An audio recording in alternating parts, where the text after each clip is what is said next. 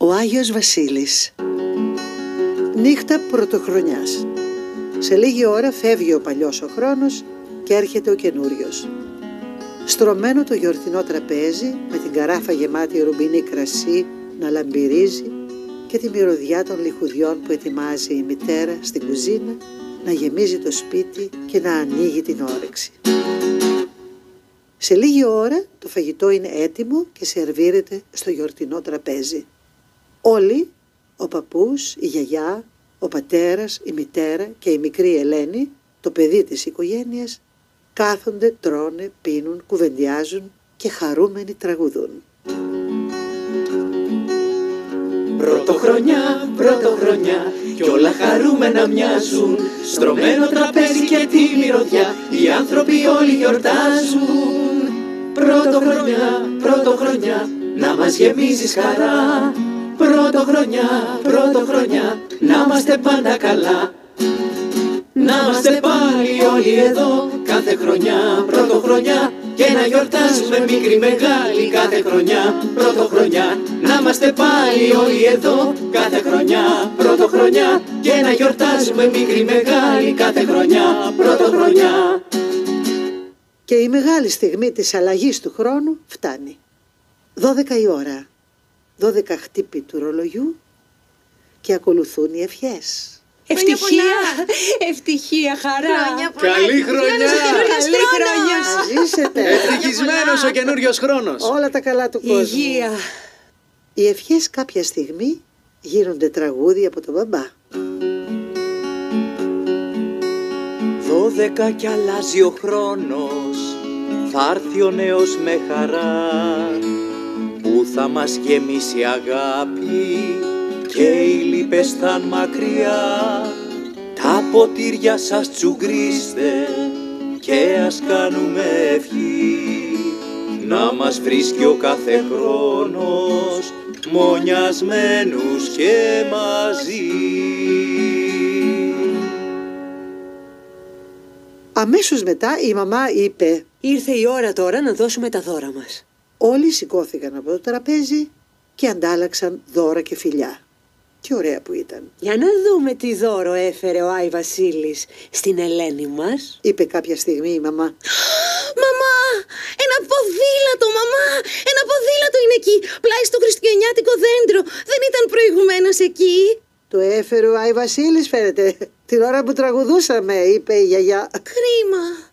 Ήρθε στο σπίτι μας και δεν τον είδαμε. Και γιατί δεν τον είδαμε; Ήταν βιαστικός αγάπη μου. Ναι, ήταν βιαστικός ο Άγιος Βασίλης. Πάντα είναι βιαστικός. Για να πούμε την αλήθεια, έχει να πάει τόσα δώρα σε όλα τα παιδιά του κόσμου. Ίσα ίσα που έρχεται και φεύγει. Και πώς μπήκε μέσα στο σπίτι αφού ήταν κλειστή η πόρτα; Ήξερα πως θα έρθει και άφησε λίγο ανοιχτή την μπαλκονόπορτα αγάπη μου. Και πώς ήρθε, που άφησε το ελκυθρό του; Στην ταράτσα πρέπει να το άφησε. Μα κρίμα. Ήθελα τόσο να τον δω. Τότε η μαμά είπε Μήπως ήρθε η ώρα να κόψουμε τη βασιλόπιτα; Ναι, ναι, ναι, ναι.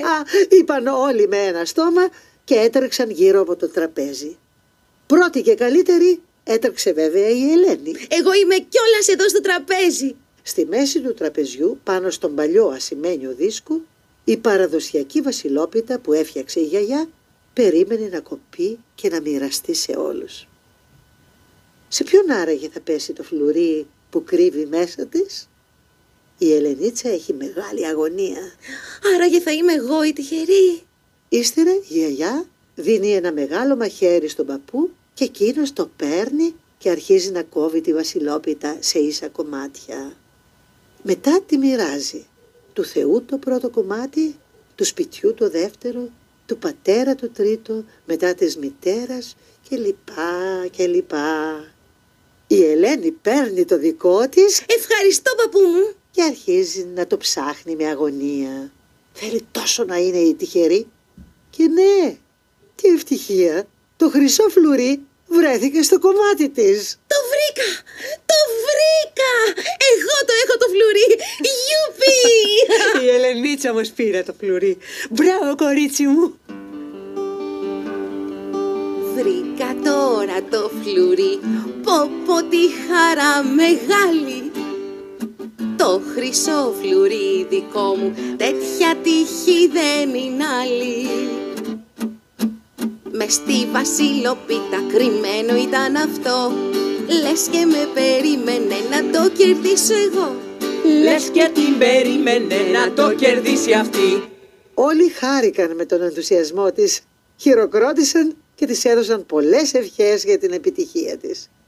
Η γιαγιά τη φίλησε και της είπε «Κάθε χρόνο αυτός που κερδίζει το φλουρί θεωρείται πολύ τυχερός. Αλήθεια, θα θέλατε να μάθετε πώς δημιουργήθηκε αυτό το έθιμο της βασιλόπιτας και του φλουριού; Ναι γιαγιά μου πες μας Θα ήθελα πολύ να μάθω Για πες, για πες. Όλοι θέλουμε να μάθουμε. Ωραία, θα σας πω λοιπόν.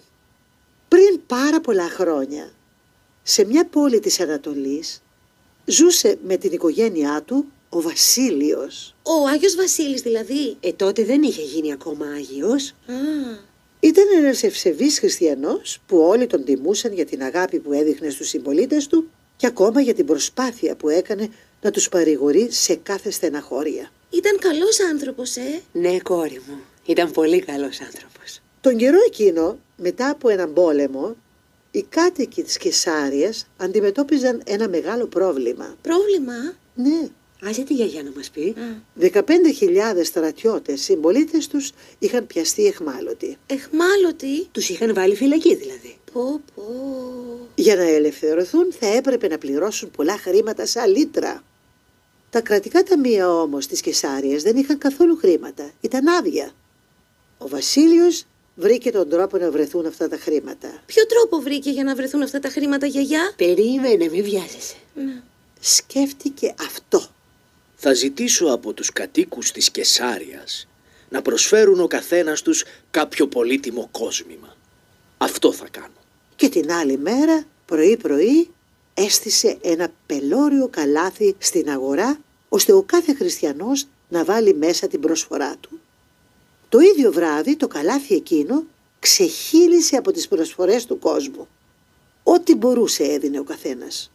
Μυριάδες χρυσά δαχτυλίδια, περιδέρια, σκουλαρίκια, βραχιόλια, χρυσές λύρες και άλλα πολύτιμα κοσμήματα μαζεύτηκαν.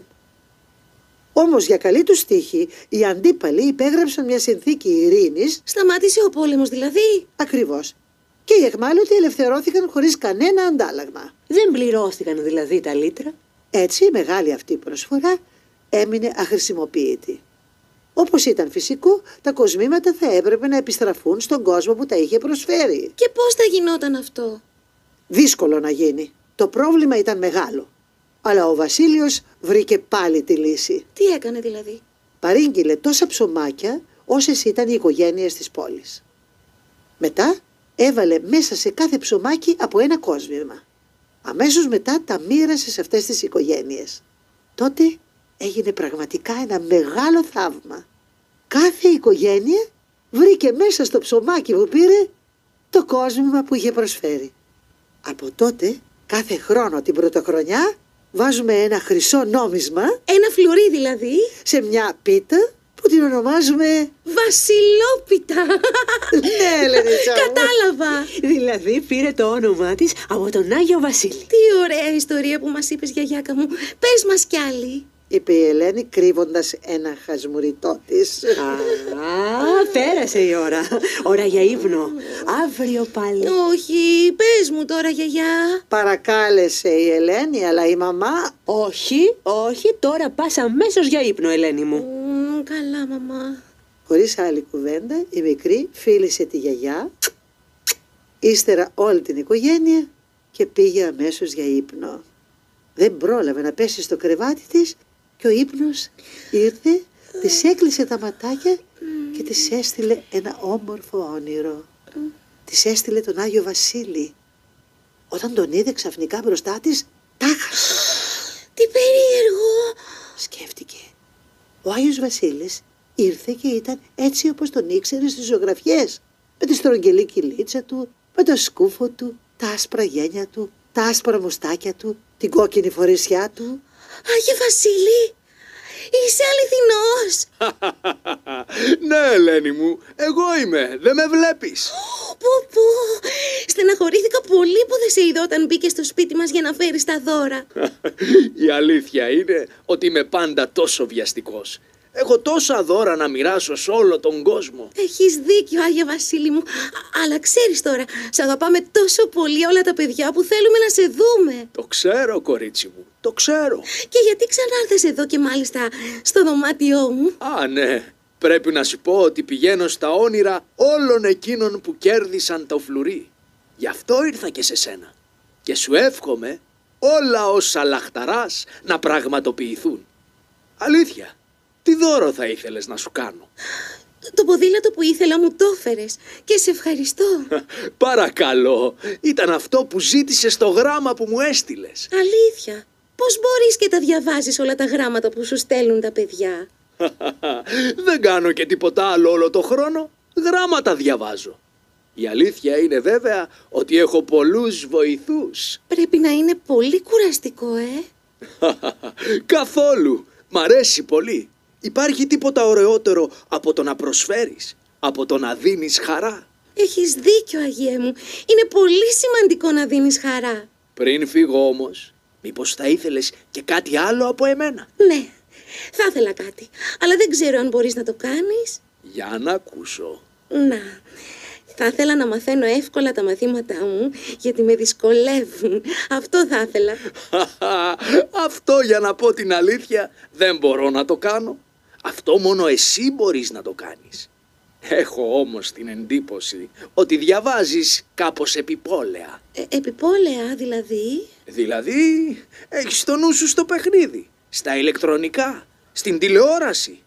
Δεν διαβάζεις με προσοχή, δεν συγκεντρώνεσαι. Μα, α- Άγιε μου Βασίλη, ε, κέρδισα το φλουρί. Αυτό λες μπορεί να με βοηθήσει; Δεν νομίζω το φλουρί που κέρδισες μπορεί να σου φέρει τύχη, Ελένη μου. Όχι γνώσεις. Για να αποκτήσεις γνώσεις χρειάζεται προσπάθεια. Δεν φτάνει η τύχη. Α, και κάτι άλλο. Να ξέρεις ότι την τύχη τη δημιουργούμε εμείς με τις πράξεις μας. Αυτό δεν θα ήθελα να το ξεχάσεις ποτέ.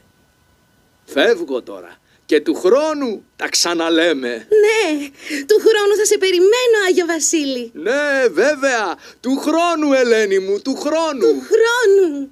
είπε ο Άγιος Βασίλης και χάθηκε από το όνειρό της για να γίνει σύννεφο, σύννεφο που πέταξε ψηλά στον ουρανό. Και του χρόνου, παιδιά μου αγαπημένα, Πρωτοχρονιά, πρωτοχρονιά κι όλα χαρούμενα μοιάζουν. Στρωμένο τραπέζι και τη μυρωδιά οι άνθρωποι όλοι γιορτάζουν. Πρωτοχρονιά, πρωτοχρονιά να μας γεμίζεις χαρά. Πρωτοχρονιά, πρωτοχρονιά να είμαστε πάντα καλά. Να είμαστε πάλι όλοι εδώ κάθε χρονιά, πρωτοχρονιά και να γιορτάζουμε μικρή μεγάλη κάθε χρονιά, πρωτοχρονιά Να είμαστε πάλι όλοι εδώ κάθε χρονιά, πρωτοχρονιά και να γιορτάζουμε μικρή μεγάλη κάθε χρονιά, πρωτοχρονιά